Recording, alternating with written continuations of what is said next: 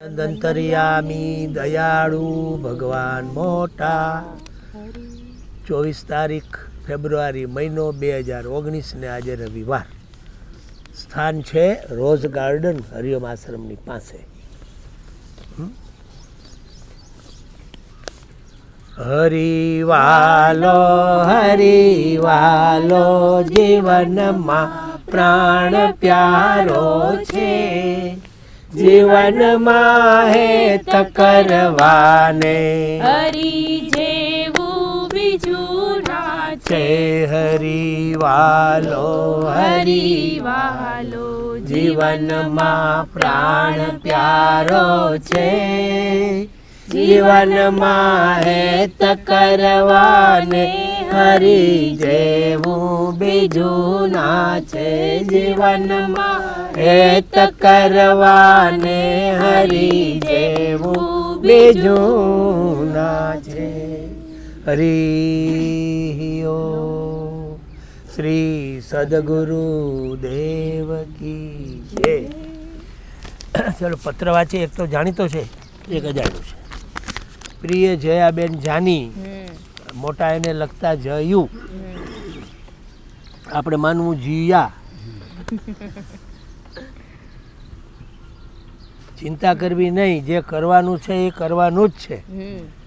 અને જો કરવાનું છે તો પછી પ્રેમથી કેમ ના કરવું? અકળાઈને કે મૂંઝાઈને કરવું એના કરતાં?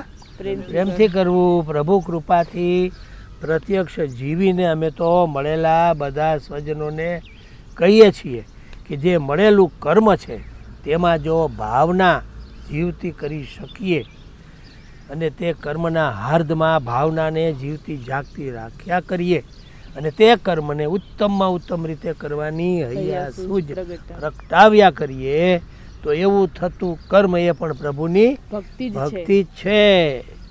જો કર્મમાં ભાવના જીવતી જાગતી રાખ્યા કરીએ તો શું થાય ફાયદો? કંટાળો ત્રાસ સંતાપ કલેશ કંઈ કશું થતું નથી એ નક્કી જાણજે. ભલે આવો સરસ પ્રોસેસ આપી ભગવાને કંટાળો ત્રાસ. કલેશ અને સંતાપથી આપણે બચવું હોય તો હેતુની સભાનતાથી કામ કરવું કરવું ને કરવું. ભગવાનને ગમે એ રીતે કરવું ભગવાનને વાલું લાગે એવી રીતે રહેવું. કેટલો ફાયદો છે હેતુની સભાનતાથી? જ્ઞાન ભક્તિ પૂર્વક. ભક્તિપૂર્વક. પ્રભુ પ્રીતિ પ્રભુ અર્થ પ્રીતિ અર્થે થયેલું કર્મ કર્મ યજ્ઞ યજ્ઞ છે. યજ્ઞ છે તો જ ભાવના થાય. યજ્ઞ નથી તો શું થાય? કામ થાય. કામ થાય. સંસ્કાર પડે. આઈને રહેવાનું થાય. આઈને રહેવાનું થાય તો કેવું આવવા જવાનું થાય? ચાલુ રહે. માથાકૂટ આ તો મન પડે ત્યારે આવો ને મન પડે ત્યારે જા જવાય. એવું થાય. આજ મને એક ભાઈ સવારમાં મળી ગયા દૂધ લેવા ગયો ને.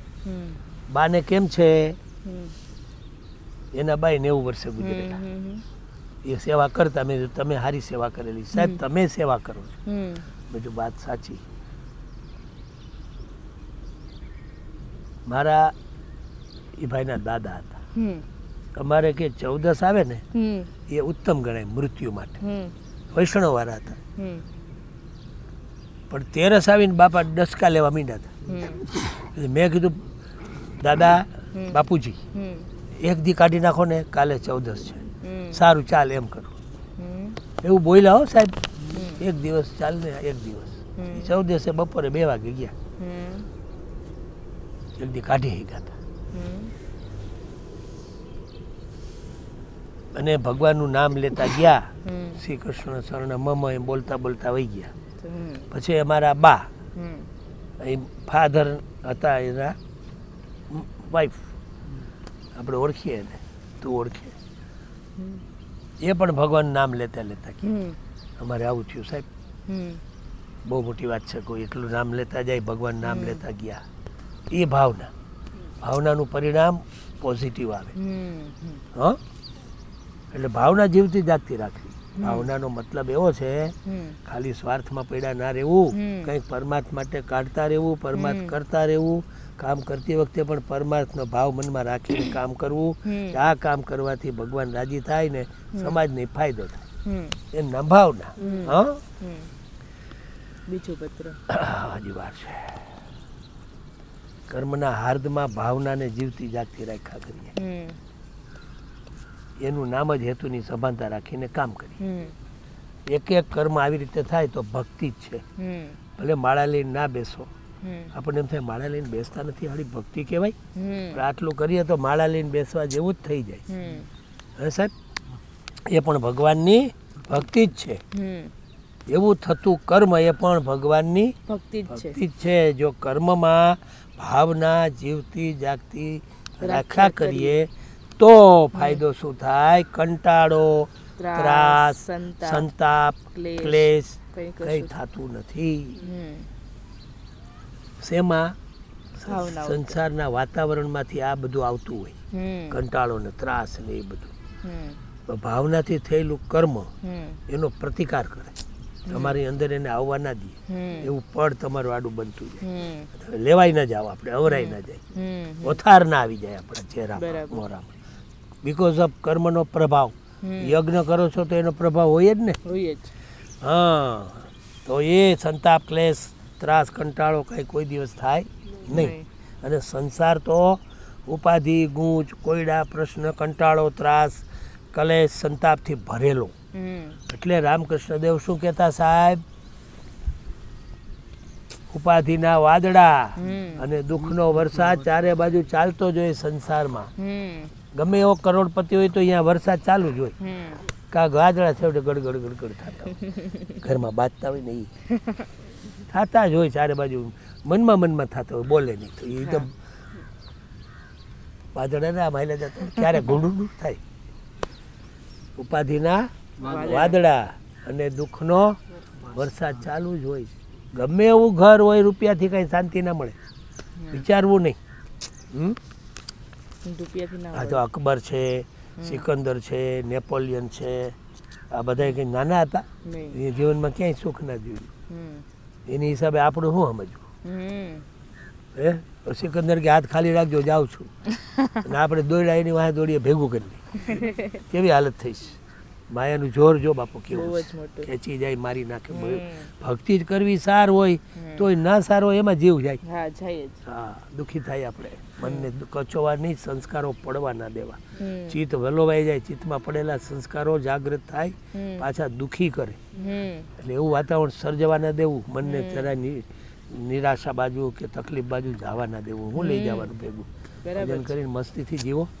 હે? કોચવવું નહીં કલેશ થવા દેવો? નહીં. તો કર્મ આપણે એવી રીતે કરવું કે ભાવનાથી થાય. બીજાનું એમાં ભલું હોય.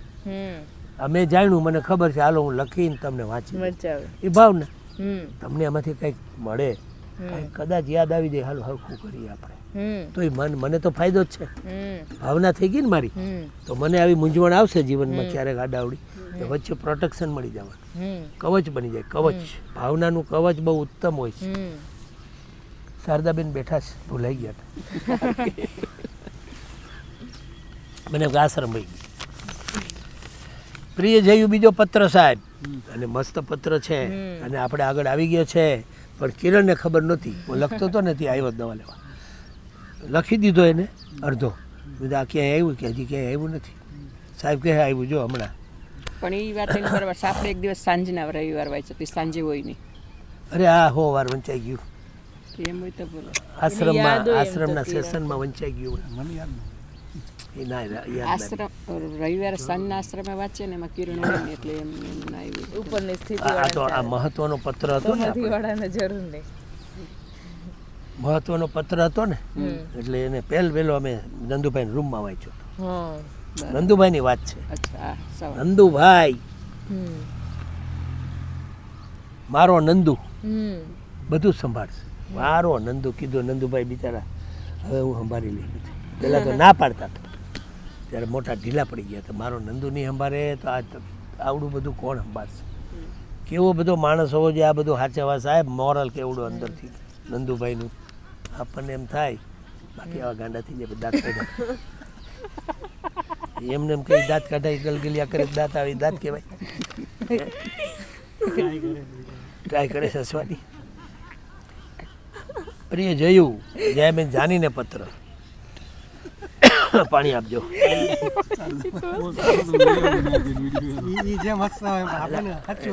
બધા હિસ્સા છે સાહેબ શારદાબેન હિસ્સા તો આપણે ધક્કો વસૂલ.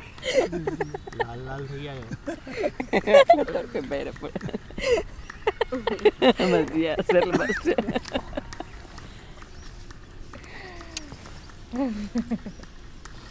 અગાસી પર બેઠો ક્યાં બેઠો જાડો પાછું અહીંયા બગીચામાં જ છે બીજો પત્ર છે સાહેબ જે અમે જાની ઉપર મોટાનો અને આપણે બધાએ સમજીને સાંભળવા જેવો કરવા જેવું એ પ્રમાણે અને વિચારવા જેવું સમજવા જેવું અને કરવા જેવું મોટા આપણને મળ્યા છે. તો શું ફાયદો થયો આપણને? ચિંતા શેની રહી અરે ભગવાન કરે એ સારું કરે ભગવાન કરે એ સારા માટે તો પછી એની વાત જવા તને મોટા મળ્યા જયાબેન જાનીને કહે છે કે તે જયાબેનને એમ થયું મને તમે મળ્યા તો ફાયદો શું થયો મોટા? એવો વિચાર આવે ને ક્યારેક. હ? મને કંઈક અનુભવ કરાવો ને ભગવાનનો અનુભવ મને થાય. પછી મોટા કહે તને મોટા મળ્યા છે તે મોટામાં મોટો અનુભવ છે. આ દુનિયામાં મોટા આપણી આંખ સામે આવી જવા એ નાનો ચમત્કાર નથી. ભલે અમારે સામે બે ત્રણ વાર જ આવ્યા છે. આ ચમત્કાર અહીં બેઠો છે. એ એનો ચમત્કાર છે. આપણે પોઝિટિવલી લઈને ગાડી હાલી તો આમ થાય. બાકી તો બધે ઘણા મેળવે મળ્યા પણ આમાં પડી ગયા. તો પૂરું. કેમાં મટીરિયાલિઝમમાં તો ગયા કામથી મટીરિયાલિઝમ આઈડિયાલિઝમ આઈડિયાલિઝમ એટલે? કલ્પના વાળું ત્રણ લિઝમ આવે છે. સ્પિરિચ્યુઅલ સ્પિરિચ્યુઅલ આઈડિયાલિઝમ અને મટીરિયલિઝમ આઈડિયાલિઝમમાં બૌદ્ધિક આવે. વિદ્વતા ને એવું બધું આવે. અને મટીરિયાલિઝમમાં ભૌતિક સમૃદ્ધિ. પૈસા ટકા મકાનો ધાન ગાડી ખટારા વાહ વાહ. એ બધું મટીરિયલ ભેગું કરવું મટીરિયાલિઝમ અને સ્પિરિચ્યુઅલ આપણે કરીએ છીએ. એ સૌથી ઉત્તમ છે. જાળવી રાખજો મહેનત કરજો. મારા ગયા પછી પણ કરજો. કોક એકાદો એવા હરખા તૈયાર થઈ જવામાં. નહીં તો ખો ખોવાઈ જાય છોકરા બધા ગયા. સાચું કહું. જરાક મહેનત કરી અને ભગવાનની કૃપાથી કરજો. તને મોટા મળ્યા છે એ મોટામાં મોટો અનુભવ છે. એમ જાણજે. આપણે બીજા અનુભવોની જરૂર નથી. તારા દિલમાં મોટાને માટે ખરેખર પ્રેમ જાગી જાય. જો મોટા લખે શારદા તારા દિલમાં મોટાને માટેનો ખરેખરો. પ્રેમ જાગી જાય અને મોટા તારા દિલમાં ખરેખરો જીવતો જાગતો થાય. એવું માગે જો. એવું તારે વારંવાર લક્ષણ પરોવવું અને એ મોટાને આપણા દિલમાં જગાડવાને માટે આપણા દિલની પ્રેમની ભાવના. તેનામાં એટલે કે તેના સ્વરૂપમાં આકૃતિમાં વારંવાર જગાડ્યા કરવું અને વારંવાર એનું સ્મરણ કર્યા જ કરવું ને તેની સ્વરૂપ આકૃતિને આપણી આંખ આગળ અને મનમાં પરોક્ષ રીતે ને પ્રત્યક્ષ રીતે વારંવાર જગાડ્યા કરવી. મહામે મૂર્તિ રાખીને વળી પાછું એક સ્વરૂપ ધારણ કર્યું કે નગ્ન બેઠા મોટા પેલી મૂર્તિ. એની આંખ એનું માથું એનું નાક એના હાથ એના પગ. એનો આકાર પેટ. વાહ વાહ મોટા વાહ. પછી હરી હરી હરી આકૃતિ યાદ રહી બીજું બધું ભૂલાય ભૂલાઈ જાય. ખ્યાલ આવે ને?